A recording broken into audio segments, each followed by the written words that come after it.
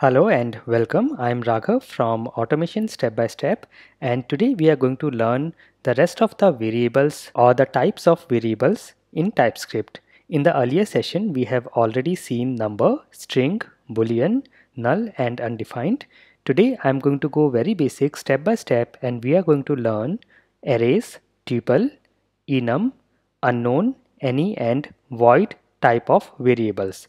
This is going to be very easy and very interesting. So let's get started and let us start with arrays. Now arrays in TypeScript as in JavaScript is a type that can hold array of values and if you have to create an array I will go to my Visual Studio Code and I will go to my basics.ts script that we have created earlier and here I will say arrays and I can say here let and give any name of a variable. Let us say list1 and a colon. And here I can give any data type. And when I add the square brackets it becomes a array of numbers. And I can also make it equal to the value. So here again in square brackets I can give a array of numbers like this.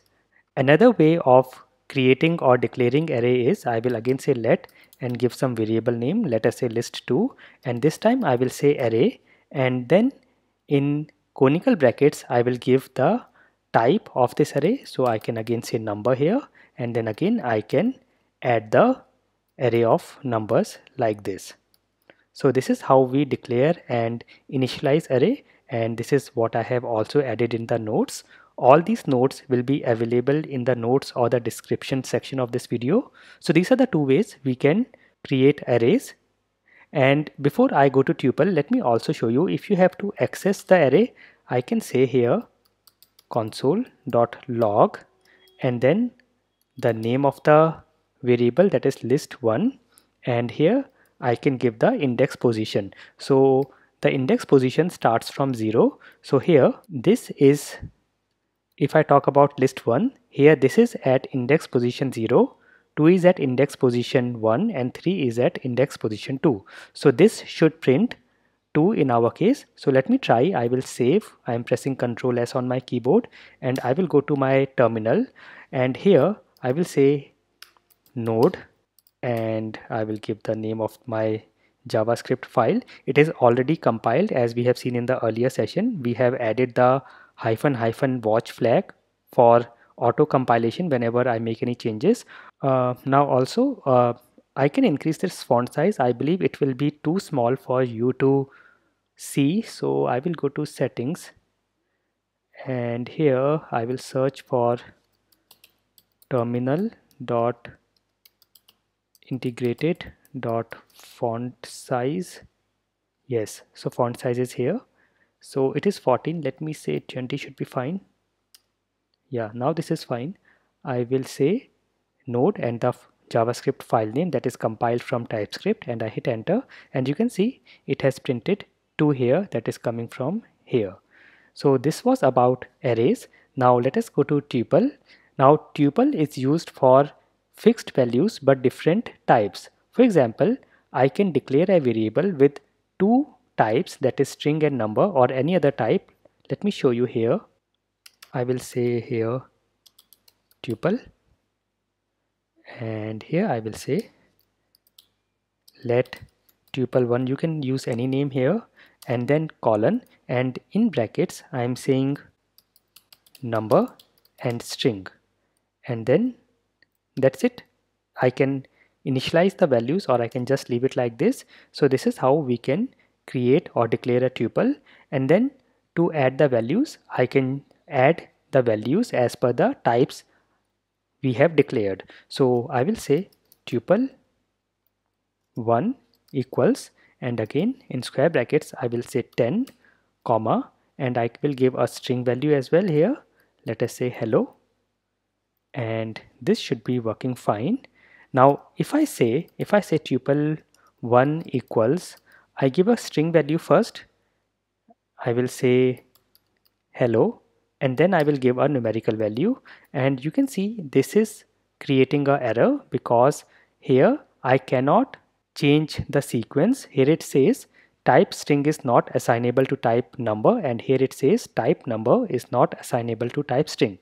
So this is not allowed and I have added this in my notes as well. So this will throw an error and then if you have to access the tuple you can go with the index position. So here I can say console.log and I will say tuple 1 and let us say I want the index position of 1 which will refer to this hello because this starts from index position 0 and now because this is a string I can also add some string operations like substring so I will say substring and let us say I want to start from index position 1 so I if I run this save compile and run you can see it is printing ELLO so it is starting from index position 1 of this particular string so this was about tuple. Now let us go to enum. So enum is used to giving some more friendly names to the set of values. For example, we can create a enum for colors. Let me show you here. I will say this is enum and here I can say I will just say enum and give some name color and then in curly brackets I can give the values. I'll say blue, green, red, etc so this is how we can declare a enum. Now I can then declare variables and can assign values. For example, I can say here let c and this is of type enum and I will make it equal to color dot uh, green. Now if you see here it will actually store the index position of this particular value. For example, if I try to print it, I will say console.log and I say see here and I save and run. You can see it is printing 1 here because it starts from index position 0. However, I can also manually change this index position. I want to start with 4. So now blue will start with 4 or blue will have index position 4 and then sequentially green will have 5 and red will have 6 now if I run this let us see what happens I will run this again and now you can see it is printing 5 for green but if I want I can also give different values I want to say green should be at position 7 and red is at 10 even this will work fine. If I save compile and run now you can see it is printing 7 for green. So all this is allowed in enum. We have already seen this how you print the values. And by default the numbering starts with 0 but you can change it like this as we have already seen. And we can also manually set the values or the number index position like this. Now we can also go from the numeric value to the name of that particular value in the enum and for that I can say for example I will say here let me just comment this out now I'm not deleting any of the code because at the end of this course I will put everything on a github repository so you can always refer it from there. So I'll just comment this portion, these two lines. I will select and press control forward slash on my keyboard to comment and then I will say let color name which should be of type string should be coming from color and I want to store index 7 color or position 7 color here. So you can see this is how I can do it and then I will just have to say console dot log and I will print the color name here and if I run this you can see it is printing green here so this also can be done in an enum let us now go to unknown type. Now unknown can be used when you are describing a variable in your code but you are not sure of from where the value will come from and what will be its type. It can come from an uh, third party or maybe from a user input or some database. In that case we can use unknown. And here I can say so this is unknown. And I can say let I can use any variable name. Let us say not sure. And this I will say is of type unknown. And let me give some value here. Now don't get confused that I'm already giving a numerical value or a number so it should be of type number. This can come from anywhere during runtime. It can come from a database, it can be a string value, it can be a numerical value but just for this example I have added this value here.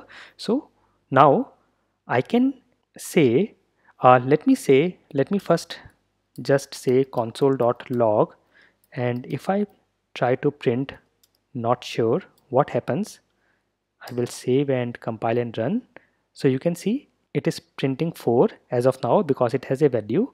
What if I do not have any value here? I will save this and run this again.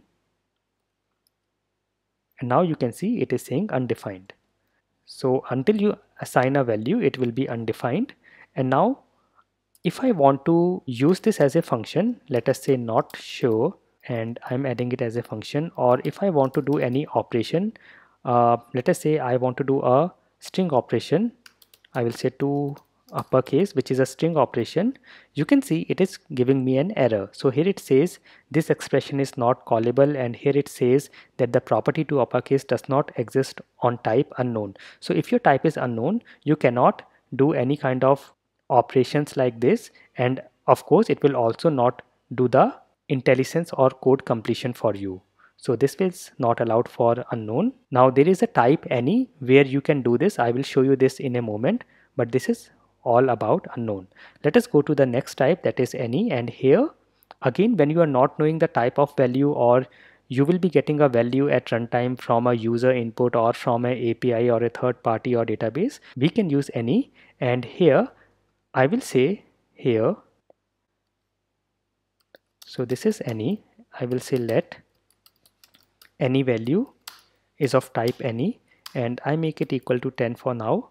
And now or even just I declare it like this I can make any value or the variable equal to a numerical value or I can make it equal to a string value or I can make it equal to or assign a boolean value here. So all this is fine and it will work. Now here you will see a difference from unknown. If I say any well and say dot you can see here or I say any well and give a add use it as a function it is fine.